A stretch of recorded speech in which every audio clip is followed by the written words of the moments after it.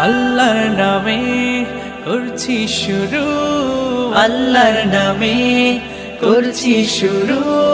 জ্ঞান সাধনায় হব ধ্যানী। জানব কোরআন, হাদিস আমি। জানব কোরআন, হাদিস আমি। ইনশা আল্লাহ ইনশা আল্লাহ ইনশা আল্লাহ। আসসালামু আলাইকুম রহমতুল্লাহ বরকাত আমাদের একবার প্রশ্ন আছে যে যে তিনি মা ফাতেমার জন্মদিনের একটা স্ট্যাটাস তিনি পাঠাচ্ছেন বা একটা পিক পাঠাচ্ছেন, এবং এতে করে নাকি তার মনের আশা পূরণ হবে ইত্যাদি বলা হয়। এটা কি আসলে পূরণ হওয়ার কথা? আমরা বলব যে প্রথমত জন্মদিন পালন করা শরীয়তে নেই। এবং সেই উদ্দেশ্যে আপনি কোনো একটি স্ট্যাটাসের মধ্যে কেউ বানানো কথা আপনাকে বলেছে কথা বানিয়ে যে এটা করলে আপনার মনের আশা পূরণ হবে ইত্যাদি। না, এটার সাথে মনের আশা পূরণ হওয়ার কোনো সম্পর্ক নেই।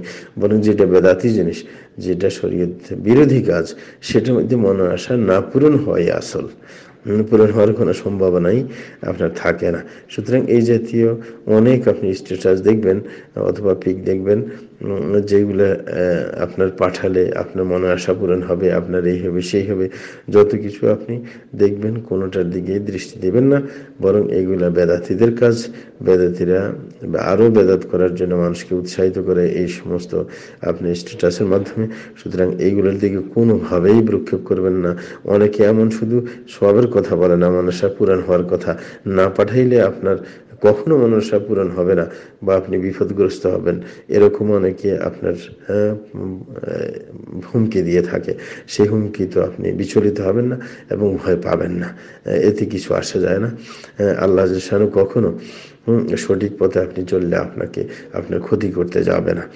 বরং আপনার যদি বেদাত করে বসেন, তখন আপনার স্বাস্থ্যের সম্মুখীন হওয়ার সম্ভাবনা আরও বেশি থাকে। এই কারণে এগুলোর দিকে কোনো দৃষ্টি না দেওয়া হচ্ছে। আসল মুসলমানের চরিত্র আশা করি সবাই বুঝতে পেরেছেন। জাকুল্লাহ খেরা